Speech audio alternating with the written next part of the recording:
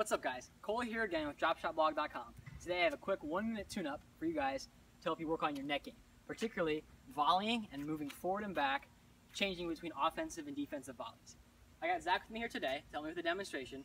We're to do a quick drill popularized by the Bryan brothers, used for practicing exactly what I was talking about, moving forward between offensive and defensive volleys. So Zach is going to start at the service line. We're both volleying at the net. I'm going to be up closer, as if I were closing in, maybe in doubles getting ready to poach, or in a singles point, getting ready to take control of the net and put away to win the point. I'm going to start an offensive position, while Zach is going to be working on a more low defensive volley. This drill, when done properly, will have a smooth transition between moving forward and backward as the rally progresses. So as I move back, as the rally goes on, Zach will be moving forward until I get to where Zach started, and Zach gets to where I started, and then we'll move back in a similar pattern and keep going as long as we possibly can. Watch.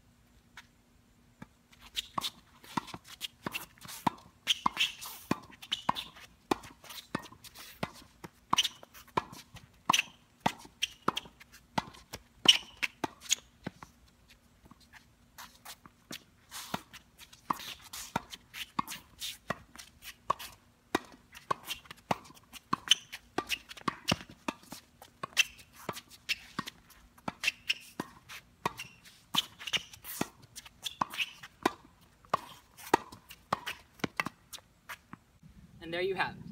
With that volley drill, you can see how it really makes you work on your reaction time and being as simple as you possibly can in setting the racket face so that you're ready for whatever ball comes your way. When you're both at the net, aggressively hitting the volleys, you do not have a lot of time to react and take big swings. That's why you saw us having compact swings, both moving forward and backward as we attack the net and move defensively. I hope this quick tip helps you guys.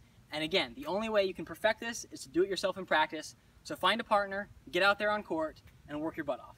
Check back at dropshotblog.com for more tips, videos, podcasts, and articles about the ATP World Tour and other ideas on how to improve your game.